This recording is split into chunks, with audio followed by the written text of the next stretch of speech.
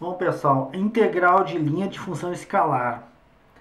Então, aqui, novo tipo de integral surge, integral de linha ou integral curvilínea. Na verdade, aqui nós temos uma curva no espaço, aqui está a sombra da curva e aqui tem uma área. E a integral de linha é como se a gente quisesse calcular a área de um muro construído sobre uma curva que a altura é variável. Aqui está a altura variando e eu quero saber essa área aqui. E aí aqui tem um retângulozinho, né, ds, essa curvinha aqui, conforme vai ficando pequenininho, o ds se aproxima dessa linha reta horizontal aqui, e aí nós temos aqui destacado, né, que a altura f de xy vezes ds é a área desse retângulozinho aqui. Eu somo todas essas áreas e a soma a gente faz com a integral. Então, a integral de f de xy vezes ds vai dar a soma de todas essas áreazinhas aqui, e aí eu tenho a área do da, da curva, a área do muro, né? Ou sobre essa curva variável. Eu coloquei aqui que ds é a derivada da função vezes dt. E a derivada da função é a velocidade escalar aqui, no caso, vezes o tempo. Velocidade vezes o tempo é um pedacinho, é uma distância. E aí é a distância, esse pedacinho dessa curva aqui, que vai se aproximando dessa reta horizontal conforme vai se estreitando aqui o pedacinho aqui. Conforme esse pedaço vai ficando encolhido, esse ds e esse pedacinho aqui ficam muito próximo. Então, ds, essa é a formulazinha que nós vamos substituir aqui. V de t, R' de t é, a curva né, parametrizada. Então aqui está, né? Nós vamos fazer uma relação que nós vamos substituir a integral de A a B, e isso aqui que nós vamos definir, f de R de t, R de t é uma função parametrizada que vai ser colocada dentro da função, é a nossa curva aqui, vezes R' de t dt. Por quê? Porque o ds é R' de t dt. Então essa aqui é a nossa definição de integral de linha. E nós vamos começar a usar então essa formulazinha aqui que eu deduzi. E faremos o cálculo ao transportar esse para esse lado de cá. Só gostaria de salientar, né, esse módulo de R' de t é raiz de f' de t ao quadrado mais g' de t ao quadrado. Isso se for plano, né? Mundo 2D. Se for 3D, teremos mais uma componente aqui. f' de t ao quadrado mais g' de t ao quadrado mais h' de t ao quadrado. Bom, tá aí então a nossa formulazinha que nós vamos usar, né, integral de linha, né, pela definição. Vamos usar então essa relação aqui, determinando r, reta parametrizada, e vamos colocá-la dentro da função. E vamos substituir o ds por isso aqui, e aí resolver a integral. Vamos fazer uns exercícios então para ver a aplicação disso aí. Calcule a integral de linha abaixo. Bom, aqui já está a integral naquele formato, né? A, a curva já está parametrizada, e eu vou colocar aqui a curva que eu estou enxergando em função do parâmetro t. Vai ser cosseno de t vezes i, mais seno de tj. Então aí está né, a curva parametrizada. Essa curva aqui. E aí, colocando aqui embaixo, né, o que eu recebi e o que eu tenho, já coloquei aqui a formulazinha, né? Dentro do x eu vou colocar a componente de x aqui, que está na frente do i, e dentro do y eu vou colocar a componente que está dentro do y aqui, que está ligado ao j. Só que eu vou ter que achar a derivada, a derivada disso aqui, fazendo, né? R' de t Derivada de cosseno é menos seno de TI.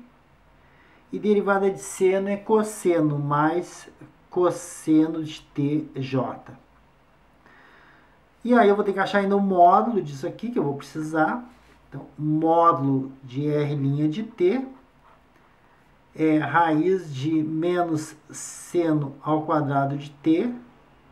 Quadrado eu vou colocar aqui fora, porque o menos também vai estar elevado ao quadrado. Mais cosseno de T ao quadrado.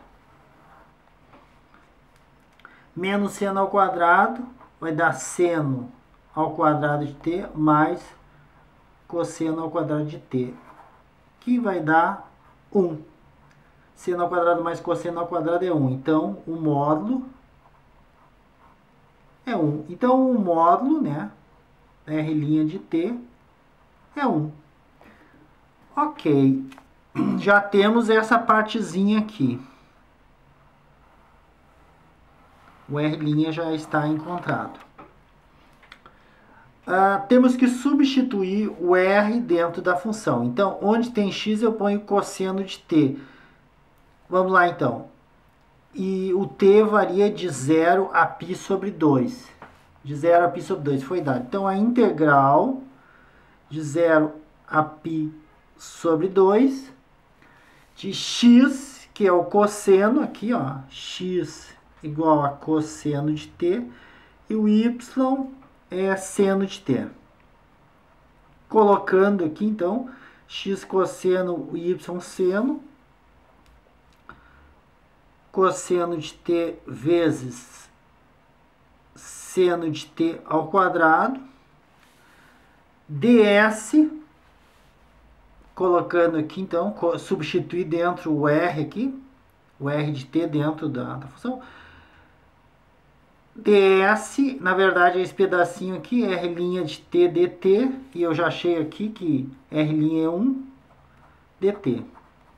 Escrevendo de uma forma mais conveniente, 0 a π sobre 2, seno de t ao quadrado, cosseno de t dt.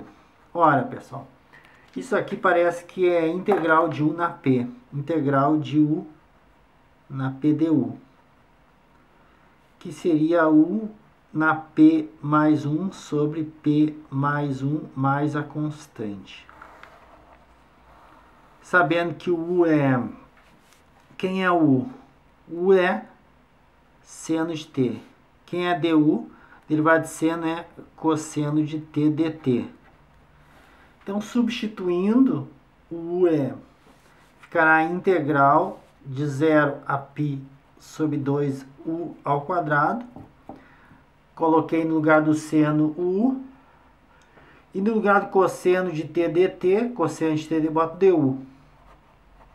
E aí está feito. Podemos aplicar agora 2 mais 1 sobre 2 mais 1. Vai dar u 2 mais 1, 2 mais 1. De 0 a π sobre 2. Quando tem, é uma integral definida, sim, não tem constante, daí não se põe a constante. U, a gente sabe que o U é seno de t, então bota no lugar do, então fica seno de t ao cubo sobre 3 de 0 π sobre 2.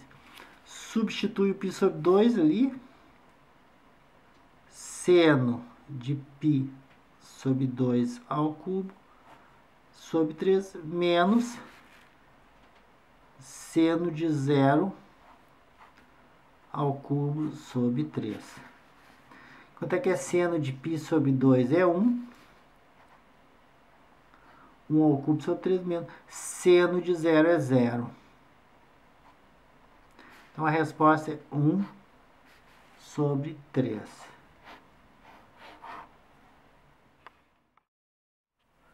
Então, calcule a integral de linha, onde a curva é a reta, onde a curva C é a reta que sai de A e chega em B, é o segmento de reta de AB. Bom, aí nós temos que achar a equação da curva, né? Dessa curva aqui é uma reta. equação de reta a gente já viu e vamos ter que revisar que a reta é x igual a x1 mais at e y é igual a y1 mais bt. Já vimos em vídeos passados, né? Que a, a parametrização de uma reta é isso, então a curva está aqui. Só que daí nós temos que sair de A, como está dito, e chegar em B.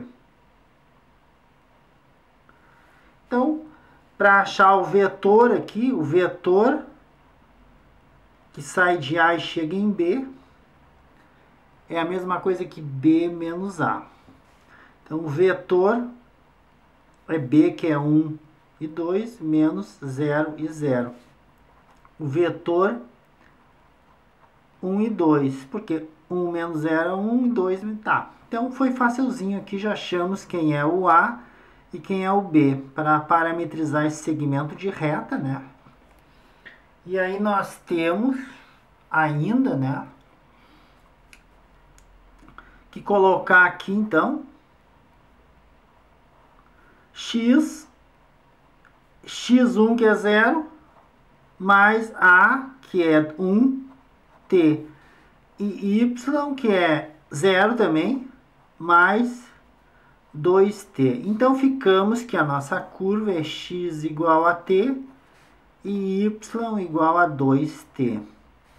Sendo que o t é x, é a mesma coisa, né? Então, o t, se o x começa em 0 e termina em 1, o t também começa em 0 e termina em 1, uma vez que eles são iguais. Tá aí. Então, o nosso vetor é t, vírgula 2t. Aí. E essa é a nossa curva. Fazendo agora aquilo, é aquela formulazinha que a gente já está acostumado. Já coloquei aqui embaixo, né?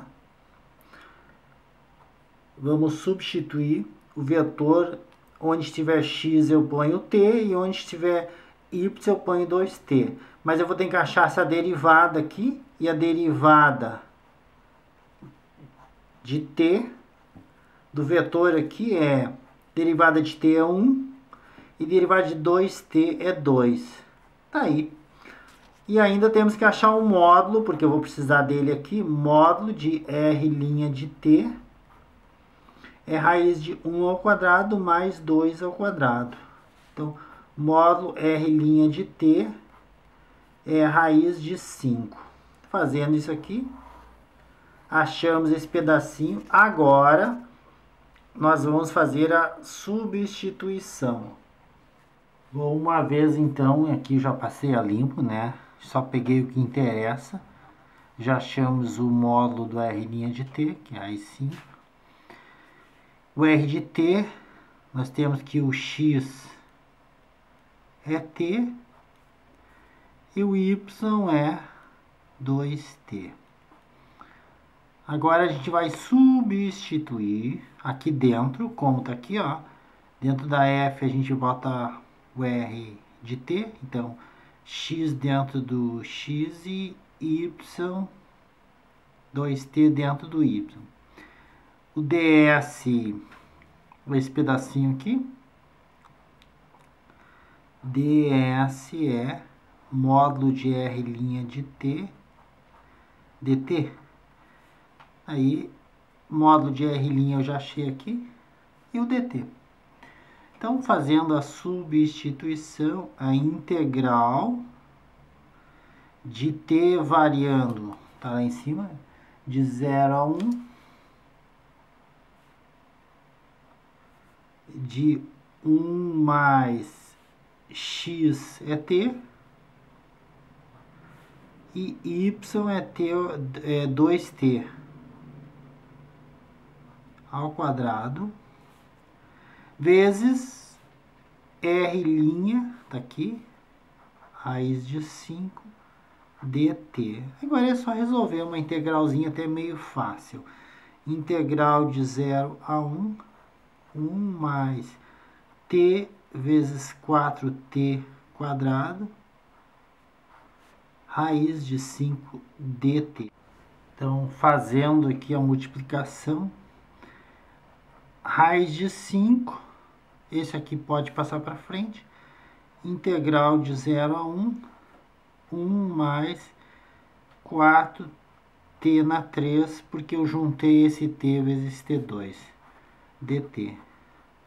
Separando tudo, raiz de 5, integral de 0 a 1 dt, mais raiz de 5 integral de 4 t3 dt, tudo de 0 a 1. Esse 4 vem para fora, raiz de 5 integral de 0 a 1 dt, mais 4 raiz de 5 integral de 0 a 1 t3 dt. Integral de dtt, raiz de 5t, mais raiz de 4, raiz de 5t, na 3 mais 1 sobre 3 mais 1, tudo isso de 0 a 1. Pessoal, esse 3 mais 1 é 4, dá para cortar com esse 4, fica raiz de 5t mais raiz de 5t na 4 apenas. Agora substitui o de cima, primeiro raiz de 5 vezes 1 mais raiz de 5 vezes 1 na 4 menos zero. Por quê? 0 dentro do t dá 0 e 0 dentro do t4 dá 0. Então vai dar raiz de 5 mais a raiz de 5, resposta 2 raiz de 5. Tá aí. Resultado da integral de linha. Bom, mais um exercício. Calcule a integral onde C é o segmento que une o ponto A ao ponto B. Vocês notem que a curva não está parametrizada nem o intervalo definido. Então é, é, um segmento de reta e segmento de reta. A gente já viu que se parametriza x mais um exercício aqui para a gente sedimentar AT e y é igual a y1 mais b vezes t. Tá aí. Então essa é a curva, né?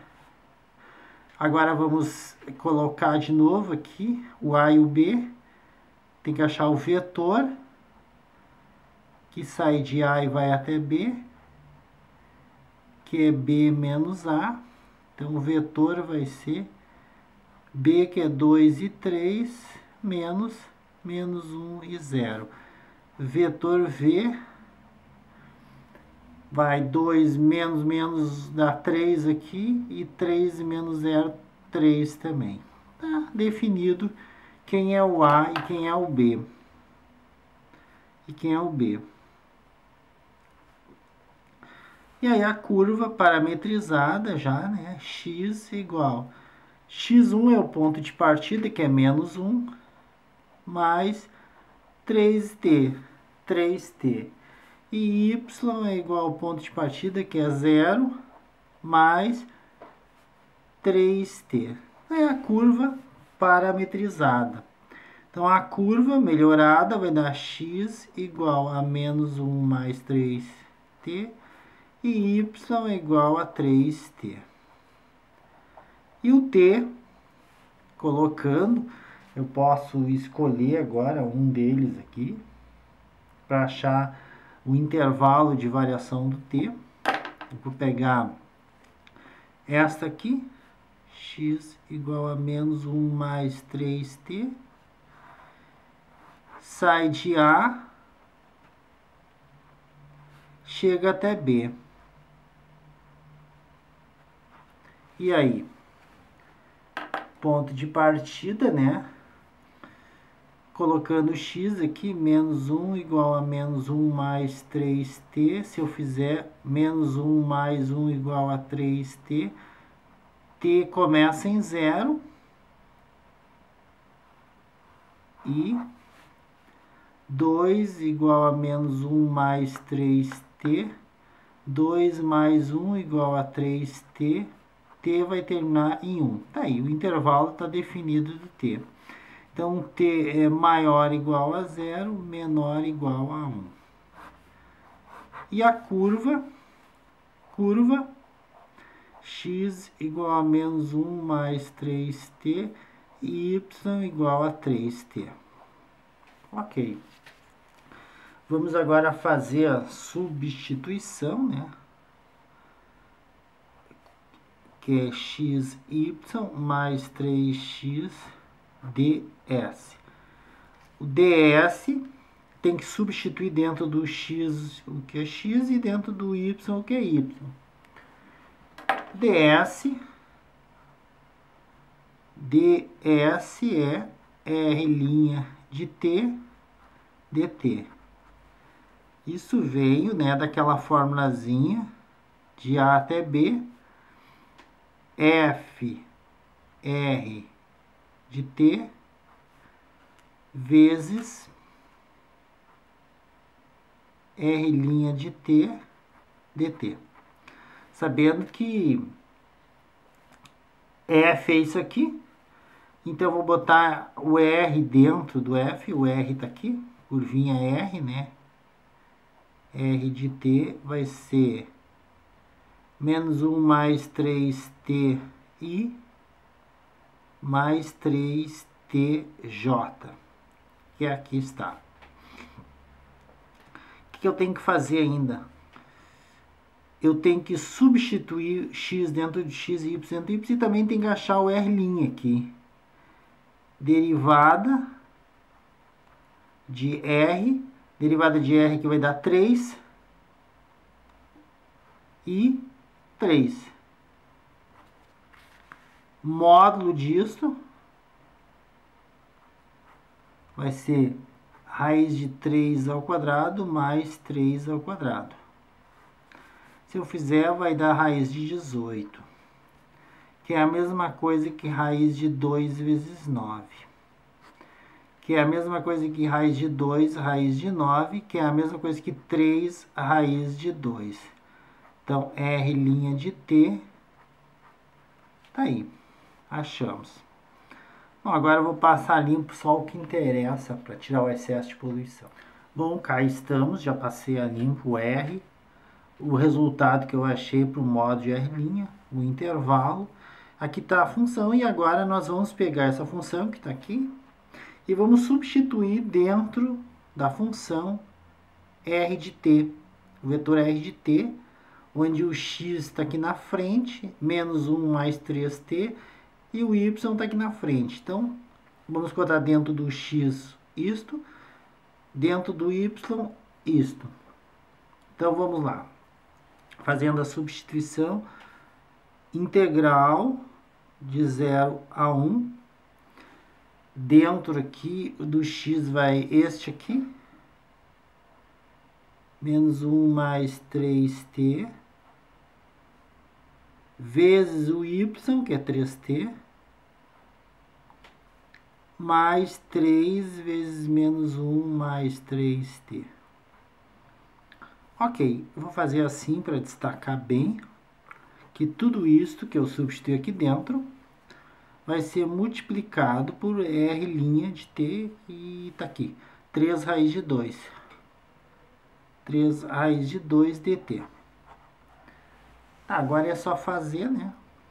O distributivo aqui. Integral de 0 a 1. Menos 3t mais 9t quadrado. E este aqui também.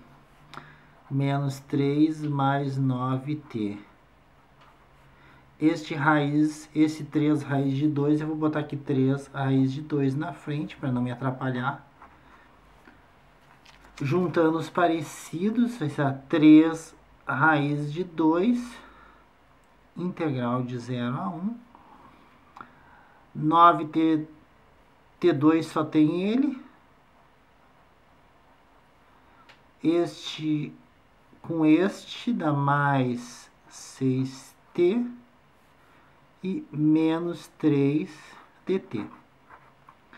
Fazendo a integral de cada um deles, vai dar 3 raiz de 2. Aqui vai dar 9t na 3 sobre 3, só somando um aqui em cima, mais 6t na 2 sobre 2, que é esse aqui, e menos 3t, integral de dt, de 0 a 1. Dá para dar uma cortadinha aqui, 3 raiz de 2, 3t3, mais 3t2, menos 3t, de 0 a 1.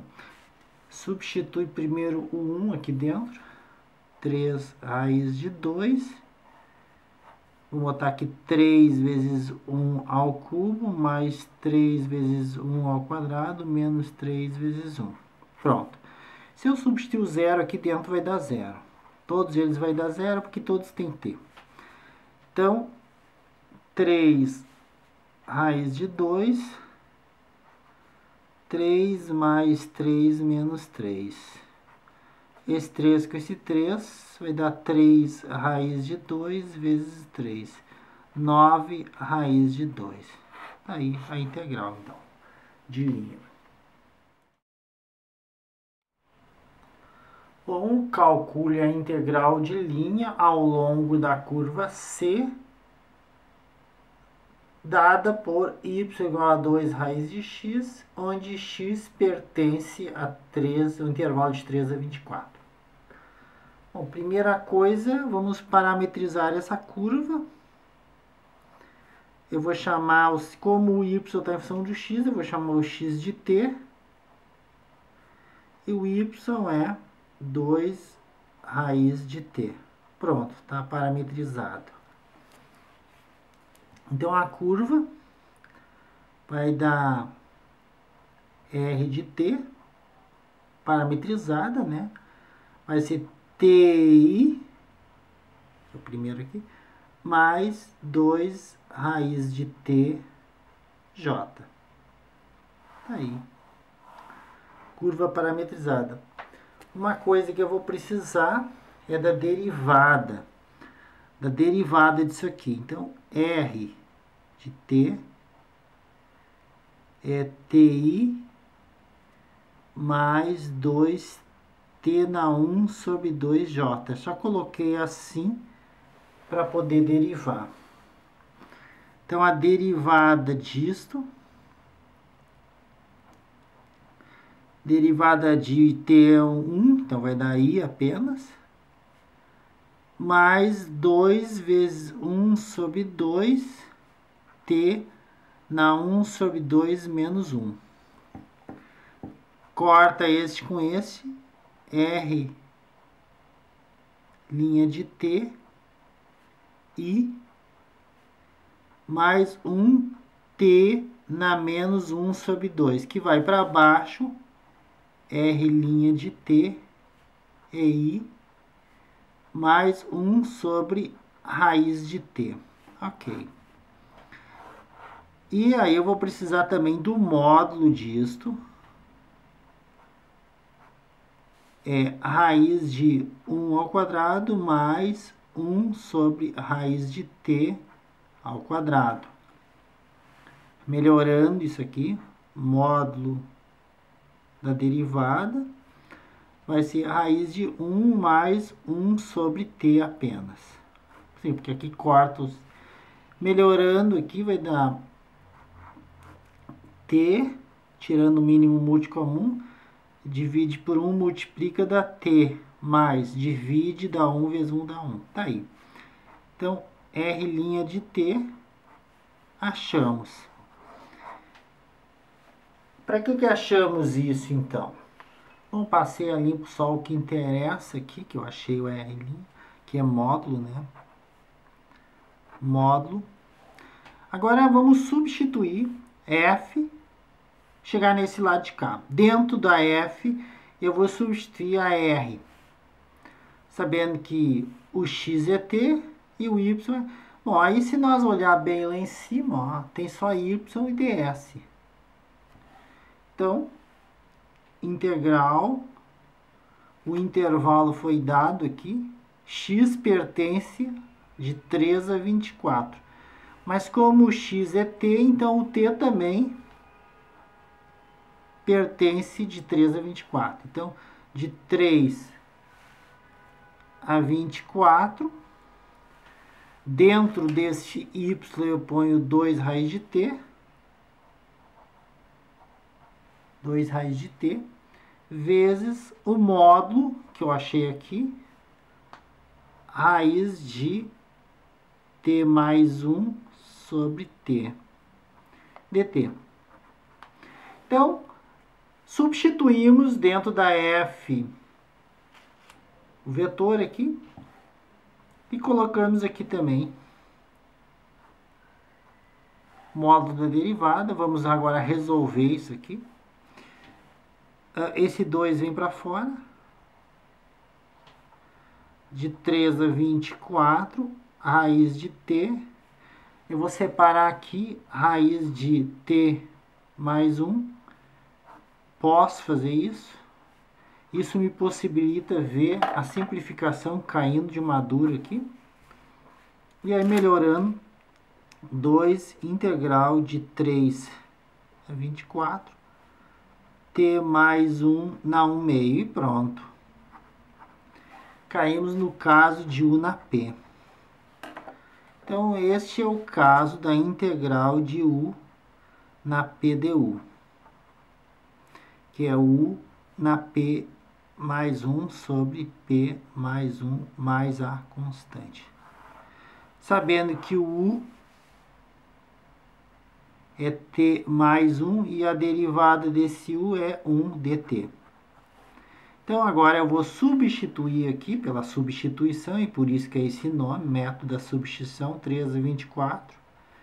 U na 1 meio, no lugar do t mais 1 eu ponho u. E dt e du é a mesma coisa, então bota du aqui, não tem mais nada para fazer. E aí eu posso fazer p mais 1 sobre p mais 1, então vai estar 2 U na 1 meio mais 1 sobre 1 meio mais 1 de 3 a 24. Uh, 1 meio mais 1 é 3 meios, então posso botar 2 U na 3 meios sobre 3 meios de 3 a 24. Esse de baixo passa invertido, multiplicando. 2 vezes 2 terços, raiz de U na terceira. De 3 a 24. Isso aqui, ó, pessoal. Esse 2 passa aqui para dentro. Quem está na sombra passa para o sol. E quem está no sol passa para a sombra. É uma propriedadezinha que vocês têm que saber. 2 vezes 2 é 4 terços. Raiz de U é, é U. U é T mais 1. Então, no lugar do U eu escrevo T mais 1 volta a ser, né, o T de novo, de 3 a 24. Substitui primeiro o de cima, 4 terços, que multiplica raiz de 24 mais 1 na 3, menos a raiz de 3 mais 1 na 3. Agora resolve. 4 terços, raiz de 25 ao cubo, menos a raiz de 4 ao cubo. Então, resolvendo aqui dá 4 terços. Dá raiz de 25 vezes 25 vezes 25, uma vez que é tudo ao cubo, menos raiz de 4 vezes 4 vezes 4, porque é ao cubo também. Então, eu fiz isso só para poder usar um artifício né, de escrever 4 terços, raiz de 25, raiz de 25, raiz de 25, que a gente sabe, menos raiz de 4, raiz de 4, raiz de 4. Raiz de 25 é 5, vezes 5 vezes 5. Então, vai dar 4 terços. 5 vezes 5 vezes 5, menos 2 vezes 2 vezes 2. Então, é 4 terços. 125 menos 2 vezes 2, 4, 8. 125 menos 8, 4 terços, vezes 117. Então, dá 4 vezes 117 sobre 3. 117 é divisível por 3. 117 por 3 dá 3, 3 vezes 3 dá 9, sobra 2, 7. Dá 9. 9 vezes 3, 27. Dá 0. Então vai dar 4 vezes 39. E aí 4 vezes 39, 39 vezes 4, 9 é 18, 36. Vai 3, 4 vezes 3, 12, 15, 156. Eu achei 156, tá? É a resposta.